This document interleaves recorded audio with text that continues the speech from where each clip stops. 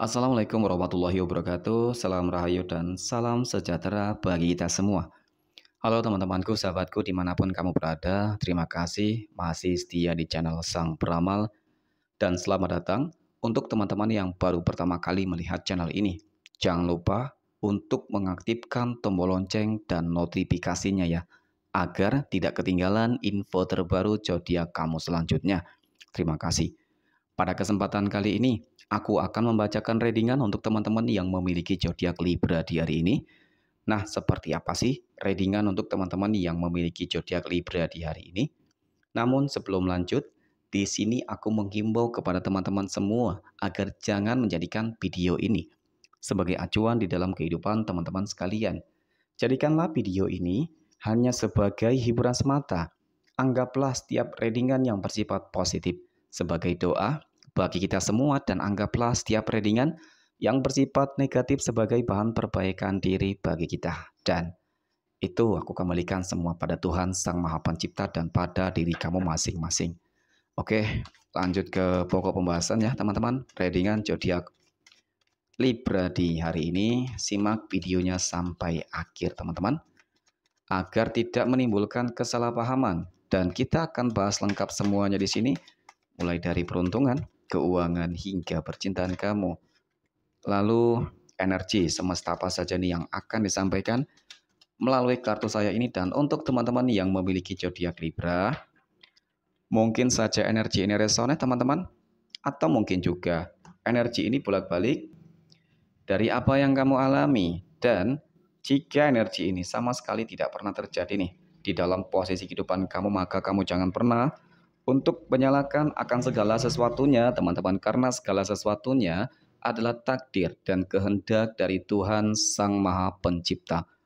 Baik, pada poin pertama kita akan melihat peruntungan teman-teman Libra di hari ini dan pada kartu yang pertama, Bismillahirrahmanirrahim. Di sini ada Knight of Cups ataupun kesatria cangkir kartu yang sangat istimewa yang akan memberikan sebuah kabar gembira bagi kamu. Nah, hadirnya kartu pertama ini teman-teman sebagai energi pembuka terkait dengan kondisi peruntungan dan kehidupan teman-teman Libra. Yang di mana pada hari ini hari Jumat tanggal 1 Maret di pekan pertama bulan Maret tahun 2024. Mengapa aku katakan bahwa kartu pertama ini adalah sebuah kartu yang akan memberikan sebuah kabar gembira bagi kamu? Karena cukup terlihat Secara visualisasi, ada sebuah peningkatan kemajuan dan ada sebuah pencapaian besar yang akan kamu dapatkan dalam waktu dekat ini.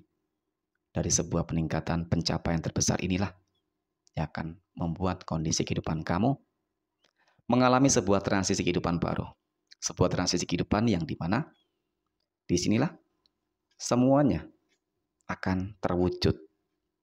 Mungkin terkait dengan kondisi pekerjaan kamu, karir kamu, usaha dan bisnis, kesehatan, ataupun terkait dengan kondisi percintaan teman-teman. Kemudian, pada kartu yang kedua. Di sini ada Five of Wands ataupun lima tongkat teman-teman. Nah, hadirnya kartu kedua ini ya memang tidak dapat dipungkiri.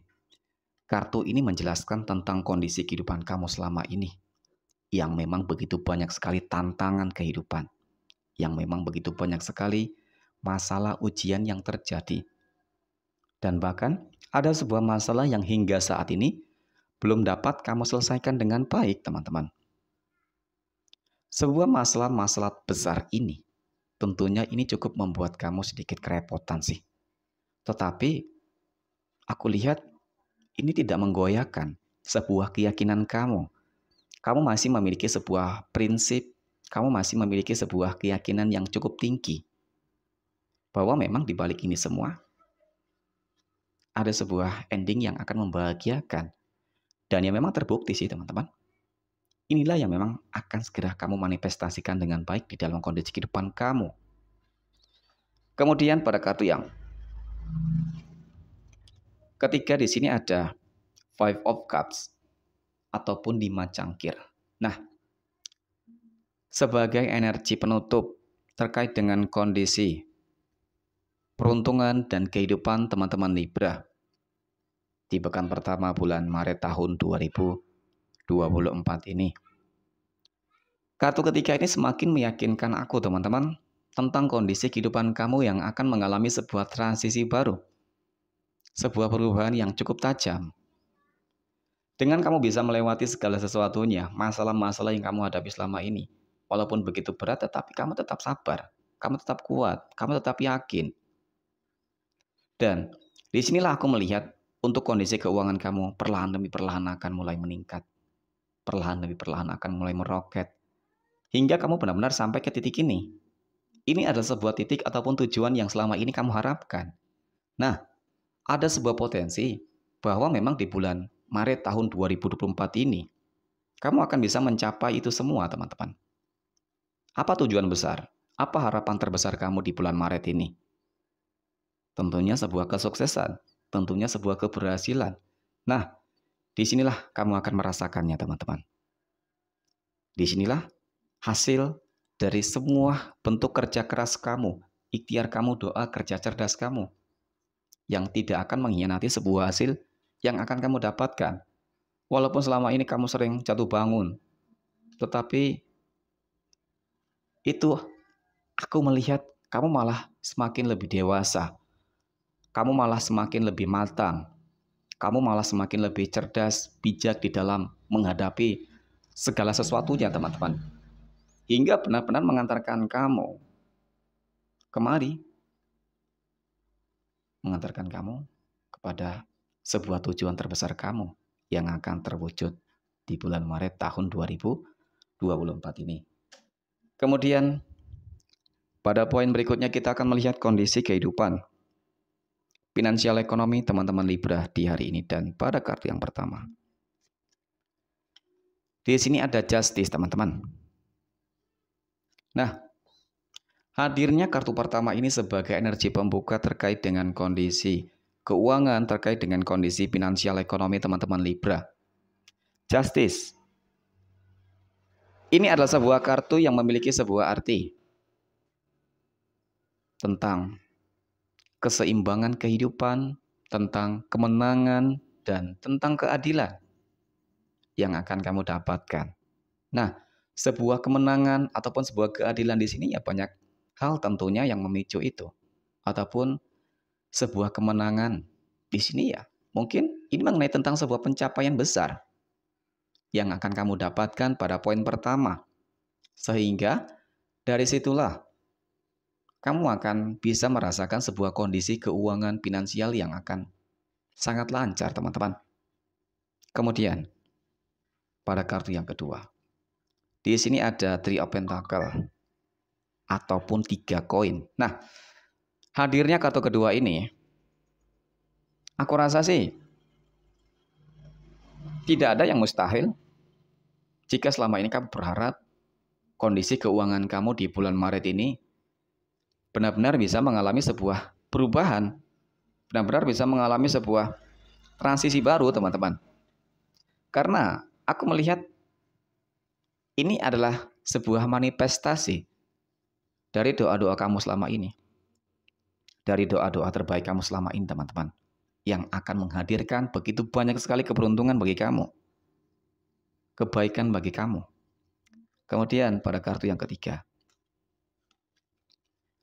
Di sini ada The Hermit.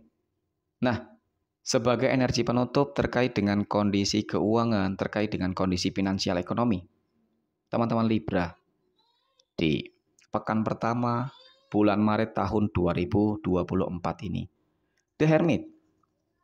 Ini adalah sebuah kartu yang menunjukkan tentang sebuah kekuatan diri, rasa kepercayaan diri. Kemudian ini sebuah intuisi ataupun sebuah pemahaman-pemahaman yang cukup mumpuni, teman-teman. Semua potensi, semua bakat sudah kamu kerahkan dengan baik. Dan aku rasa inilah waktunya bagi kamu untuk segera menuai dari semua hasil kerja keras kamu selama ini, teman-teman mungkin selama tahun 2024 ini, sepanjang tahun 2024 ini. Sebuah bentuk kontemplasi yang kamu lakukan, sebuah kesadaran diri, dan sebuah evaluasi yang kamu lakukan selama ini. Itulah yang akan mengakibatkan adanya sebuah kondisi keuangan teman-teman Libra di bulan Maret ini akan mengalami sebuah peningkatan dan sebuah kelonjakan yang cukup signifikan teman-teman. Maka untuk teman-teman yang memiliki zodiak Libra, kamu harus bersyukur teman-teman. Dan kamu harus segera klaim energi yang sangat positif tersebut. Kemudian pada poin terakhir teman-teman, kita akan melihat kondisi kehidupan asmara teman-teman Libra di hari ini.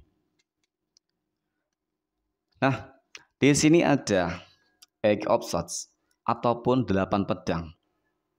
Jika kartu pertama ini aku fokuskan untuk teman-teman Libra yang saat ini sudah berumah tangga ataupun yang saat ini sedang berpacaran untuk teman-teman Libra yang saat ini sudah berumah tangga nih, terlebih dahulu teman-teman.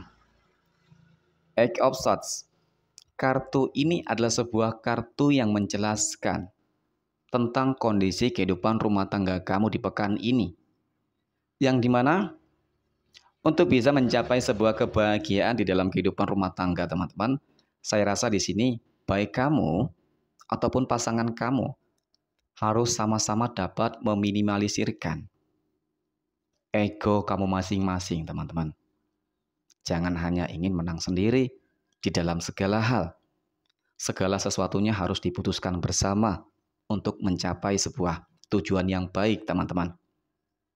Karena aku melihat bahwa di pekan ini akan begitu banyak sekali hal-hal positif, hal-hal baik yang akan terjadi, hal-hal yang lancar, teman-teman. Jika kamu dan pasangan kamu tidak dapat bersinergi dengan baik, tentunya semua kesempatan baik tidak akan dapat kamu manfaatkan.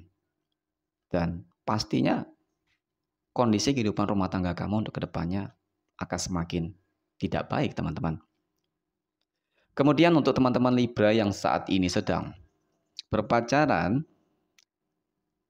delapan pedang. Kartu ini adalah sebuah kartu yang menggambarkan bahwa sepertinya kali ini kamu harus benar-benar lebih cerdas di dalam menghadapi, menjalani sebuah hubungan asmara kamu selama ini, teman-teman. Karena sepertinya selama ini kamu lebih cenderung dimanfaatin sih. Karena selama ini kamu lebih tidak begitu dihargai oleh pasangan kamu, teman-teman. Dan aku melihat masih banyak Begitu banyak sekali hal-hal yang masih disembunyikan, teman-teman. Dan tidak ada keterbukaan satu dengan yang lain. Dan saat ini juga aku melihat ada sebuah potensi sih bahwa pasangan kamu sepertinya sudah mulai bermain api di belakang kamu, teman-teman. Kemudian, pada kartu yang kedua di sini ada Knight of Wands. Jika kartu kedua ini aku fokuskan untuk teman-teman Libra yang saat ini sedang jomblo, single mom, dan single dad. Knight of Wands. Kartu ini adalah sebuah kartu yang menjelaskan tentang adanya kabar baik, kabar gembira yang akan terjadi di dalam kehidupan kamu. Baik terkait dengan kondisi kehidupan sosial yang akan mengalami sebuah perubahan yang cukup baik ataupun sebuah kondisi kehidupan asmara yang akan datang, teman-teman. Tentunya ini mengenai tentang seseorang yang akan hadir. Ini mengenai tentang pasangan ataupun jodoh kamu yang akan segera Tuhan pertemukan dengan kamu, teman-teman. Kemudian pada kartu yang ketiga ataupun kartu yang terakhir, di sini ada Queen of Cups ataupun Ratu Cangkir. Jika kartu Ketiga ini teman-teman, aku fokuskan untuk teman-teman Libra yang saat ini sedang PDKT ataupun saat ini sedang dekat dengan seseorang. Nah, Queen of Cups, kartu ini memiliki sebuah arti ataupun melambangkan bahwa sepertinya kali ini ataupun saat ini kamu tidak begitu yakin, teman-teman. Kamu tidak begitu yakin terhadap seseorang yang saat ini sedang dekat dengan kamu apakah dia benar-benar tulus, apakah dia benar-benar serius kepada diri kamu. Dan sepertinya juga kamu tidak terlalu sih menanggapi seseorang yang mencoba untuk mendekati kamu, teman-teman. Karena aku melihat di sini kamu masih dalam fase tenang. kamu masih dalam fase perbaikan diri lah. Mungkin setelah melewati melalui sebuah proses kehidupan yang mungkin tidak begitu baik di masa lalu teman-teman dari kondisi perpacaran kamu ataupun kehidupan rumah tangga kamu yang selalu saja gagal sehingga di sini kamu lebih selektif. Aku melihat kamu lebih selektif di dalam mencari seseorang yang tepat teman-teman. Dan ya kamu belum siap move on untuk saat ini.